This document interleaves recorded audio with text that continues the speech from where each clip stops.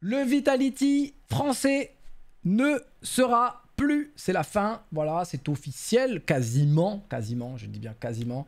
Mais euh, il y aurait donc du changement pendant ce player break avec euh, Mizuta qui serait écarté donc de Vitality et normalement, je dis bien normalement, il devrait euh, donc recruter Spanx, le monstre, le monstre chez Hens. Il n'y a aucun débat. Il n'y a aucun débat, aucune contestation possible. Il y a un monde d'écart entre ces deux joueurs. On voit l'efficacité, le rendement qu'a Spanx cette année. Il est dans le top 10 des meilleurs joueurs de l'année 2022. Pouvez aller regarder la chronique en question dans l'actu euh, que j'ai montré. Il est vraiment très fort. Il a un rendement de, sniper avec, euh, avec un rifle, alors qu'il touche vraiment pas du tout le snipe. Il est vraiment très très costaud euh, en termes d'aim, très chaud. Il a un anglais quasi parfait. D'origine israélienne, Spanx, pour ceux qui, se demandent d'où il vient et ce genre de choses.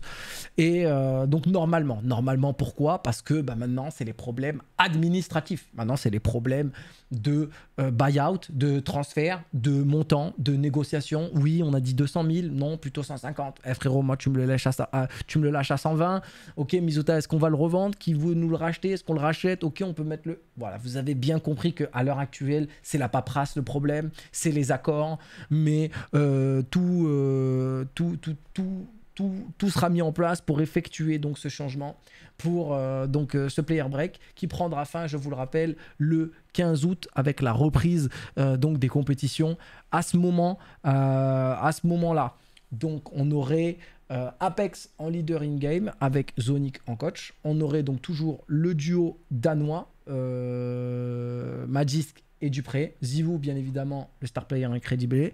Et là, Spanx, du firepower, il y en a et euh, un fixe BP absolument phénoménal. Donc triste nouvelle de perdre justement un Français et donc l'étendard français. Je vous rappelle quand même que pour avoir euh, la nationalité française quand on joue, quand on est euh, inscrit juridiquement, administrativement au niveau des tournois et des organisateurs, il faut avoir une majorité donc de trois joueurs pour prendre donc le drapeau, etc., etc., etc. Et là, vu qu'il ne restera que Apex et Zivou de Français, eh bien, euh, ce sera un drapeau européen, tout simplement. Ou alors peut-être danois. Ou alors peut-être danois, parce que le coach est danois. Donc, coach danois plus deux joueurs danois, ça fait trois. Donc, peut-être Vitality deviendra, entre guillemets, euh, sous étendard danois ou alors européen. Je pense qu'ils demanderont euh, le drapeau européen pour justement avoir une neutralité et pour que tout le monde puisse se sentir représenté et pas, entre guillemets, léser certaines communautés, certaines nationalités. Je le vois plutôt comme ça, ou en tout cas, moi, je le ferai comme ça.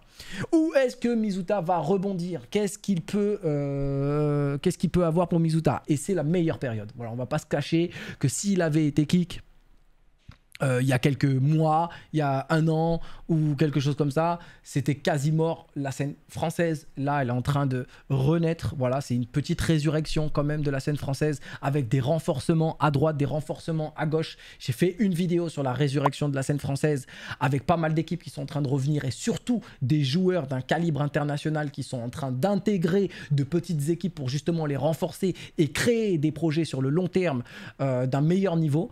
Et ça, ça fait extrêmement plaisir. Allez regarder cette vidéo si ce sujet-là vous intéresse. Où est-ce que Mizuta va rebondir? Voilà, c'est ça qu'il faut se dire. Il va aller chez Hit, il va aller chez Falcon, il va aller chez LDLC. C'est ça les possibilités qui s'offrent à lui. Mais il peut très bien euh, dire euh, non et aller euh, à l'international aussi. NBK donc devrait aller chez Falcon. Lucky devrait être kick de chez Hit, donc potentiellement du Diax qui devrait aller chez Hit. Enfin, il devrait, c'est faux. Là, là, il faut pas interpréter ce que je suis en train de dire. Dans une interview qu'il y a sur ma chaîne, euh, il disait qu'il sentait qu'il allait être kick et que lui, il aimerait bien rejouer avec Hit parce que la synergie, c'est une bande de potes de ouf. Il s'entend super bien avec Body, avec Afro, avec Joko et tout. Et il y a une grosse synergie et il, se sentait bien là-bas. Mais euh, Jax pourrait rebondir aussi euh, chez Falcon. Hein, normalement, il devrait y avoir deux changements chez Falcon. Enfin, je suis désolé, mais NBK qui vient plus Jax qui vient chez Falcon, ça ferait une putain d'équipe.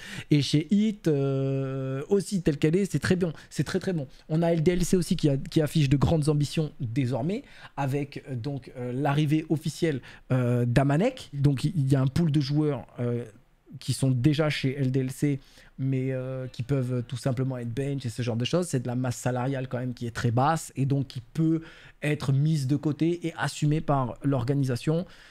Donc, on peut aussi voir arriver de nouvelles recrues chez LDLC. Je précise, je rappelle, au cas où Shox est disponible, il est bench de chez Liquid, mais là il y a un buyout à payer. Et Kenyes est bench aussi chez G2, il pourrait lui aussi euh, faire son retour. Donc euh, Kenyes euh, chez, chez, chez, chez, Falcon, Kenyes chez LDLC avec Amanek, plus Jax qui vient quand même, plus deux jeunes talents. Voilà, si des joueurs comme Kenyes pas mettre leur ego de côté, ce genre de choses. On n'en est pas à dire que c'est des gens prétentieux, on n'en est pas à dire que c'est des gens qui ont la grosse tête et ce genre de choses. N'interprétez pas ce que je dis. Mais s'ils mettent entre guillemets leur ego de côté pour justement euh, avoir un projet de chill sans grande euh, sans grandes exigences pour ces joueurs-là qui ont connu le très haut niveau. Donc on va pas dire qu'ils viennent en mode branlette et vas-y, hein, euh, on, se la coule tous. Mais des joueurs en tout cas comme Shox, comme Kenny, qui peuvent entre guillemets finir tranquillement en assumant que les pracs, pas avoir une charge de travail aussi colossale que nécessite d'intégrer le tiers 1 mondial, avec des jeunes pépites chez LDLC, avec du Falcon euh, et du Hit, et transmettre pendant une petite période de quelques mois, quelques années à la scène française pour justement réintégrer aussi les forces marketing. Hein, parlons image, parlons business, parlons euh, intérêt, parce que personne n'est intéressé par la scène euh, avec des inconnus et ce genre de choses. Là, LDLC prendrait un tout autre, euh, une toute autre dimension et un autre regard des gens. Si d'un coup il y a Shock, Samanek, Jax, machin, Falcon, euh, Yamaka, Chaos, Aji. Euh, normalement, il devrait kick, euh, c'est annoncé, Kyojin, Python, etc. Ou en tout cas, il pourrait être remplacé pour de l'upgrade. C'est pas parce qu'ils sont mauvais ou ce genre de choses. C'est pour intégrer NBK, c'est pour intégrer. Si NBK arrive, il va avoir de, certaines ambitions. Il va dire non, on va recruter un tel et tout machin. Et donc, pareil pour Hit, qui pourrait eux aussi se renforcer avec l'arrivée de Jax. Donc, vous sentez que là, sur la scène française, il peut se passer énormément de belles choses, de choses intéressantes. Et tous les mecs kickés, Hein, les Lucky, les Kyojin, les machins, refaire derrière une quatrième, euh, voire cinquième équipe, hein, parce qu'on a Vitality, on a donc euh, LDLC avec des représentants français. Vitality, euh, Hit, Falcon, et donc une cinquième équipe potentiellement aussi. Ça pourrait être absolument super intéressant. Et je vais vous faire quelque chose de, très intéressant là aussi avec Neo le boss de Vitality, qui, euh, qui a dit en janvier 2022 certains propos, qui est sur ma chaîne, vous pouvez aller voir si vous voulez l'interview intégrale, mais sur la partie de Mizuta notamment, il s'était exprimé par rapport à euh, son maintien dans la line-up principale sur l'internationalisation de ce roster. Et euh, donc je vous ai récupéré des moments qui, qui me semblent intéressants et pertinents de ressortir parce qu'il y a un changement et donc une rétractation et donc un changement et donc euh, peut-être euh, un aveu euh, sur une erreur, sur de la mauvaise communication, c'est pas compris, on n'a pas les mêmes voilà, il y a quelque chose qui a été euh, dit, des choses ont été faites derrière, Mizuta et Kik, on va revenir là-dessus, je vous rappelle que les propos datent d'il y a à peine six mois, donc je trouve ça très intéressant.